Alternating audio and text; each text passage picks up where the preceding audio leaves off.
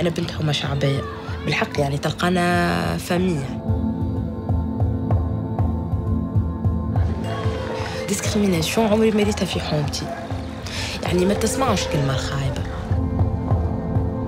أنا من قابس و bon قابس نحبها برشا. مشى في بالي ال racisme في الجنوب يمكن أقل.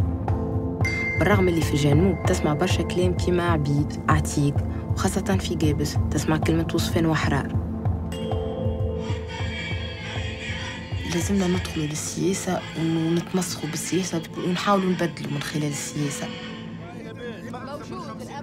أنا اليوم نحب نعطي من روحي باش نشجع السود التوانسة إنهم ينخرطوا في العمل السياسي. خاطر malheureusement مانيش ممثلين جملة في البلاد هذه. ما فهمتش. عبارة في الحبس مرهوجة وندور في اللارية يا يوسف شاهد رانا عايشين في حبس.